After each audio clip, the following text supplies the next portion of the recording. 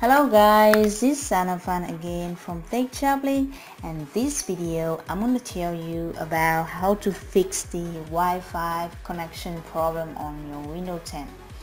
So the other days I was checking my Wi-Fi router, the connection is down, you know, I cannot access some of the websites that I want to. I see after resetting my computer I see that my Wi-Fi network isn't working isn't working at all. And then uh, it has a small yellow triangle showing on that. So here is a possible way that you can fix it. The first step you're going to go and right click on this Wi-Fi connection and open network and sharing center. Now click on change adapter settings where you can see uh, the current use network connection. So here I'm currently using this Wi-Fi connection and I'm gonna right click on that and click on properties and there we go. We have the IPv4 Internet Protocol version 4 so click on that and choose properties again. Okay oh uh, guys here we have obtain IP address automatically. So I'm currently set as obtain IP address automatically. You want to check on your computer if it is currently use the, the specific IP address or physical IP address on your computer. So the way is you can switch in between this or use this alternatively. So for example, I'm currently using obtain IP address automatically and the Wi-Fi is working but if I change it and using this this specific IP address then that will be showing the yellow triangle.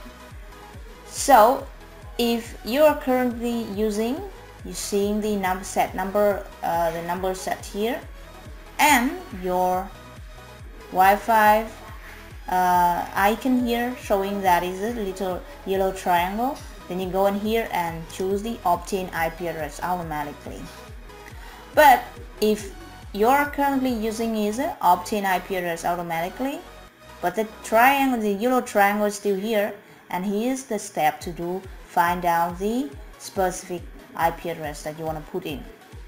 So the next step is for the alternative way. We're gonna go and search and we're gonna go and search for command prompt so you just see uh, type in command prompt and it will be showing here. You know right click on that and click run as administrator. Okay now we're gonna type in ipconfig and hit enter. So guys here now we have our ipconfig um, we're gonna see the detail of the IP address here so we're gonna search for and we'll see IPv4 address. And you won't have to remember this number. You can write it down or you can just you know minimize this a little bit smaller or maybe drag it that down there and you'll be seeing this. And you want to go and click on this and you're gonna input that.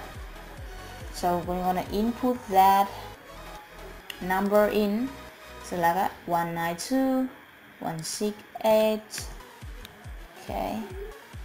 1371 and just click on this place and it will be showing the subnet mask automatically. What about the default gateway? Okay so default gateway you're gonna leave it as a blank. Okay so that's it guys. So you to click on OK. Then you will click on OK here again one more time. Then it will be working. So that's it guys. Thanks so much for watching this video. I am Anh Phan and don't forget to subscribe to this channel